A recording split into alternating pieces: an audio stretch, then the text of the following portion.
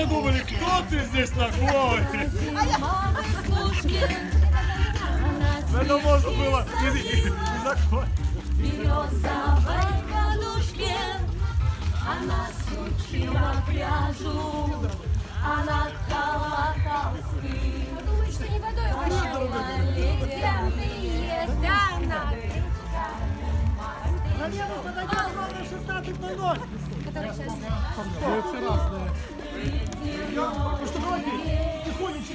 Потихонечку.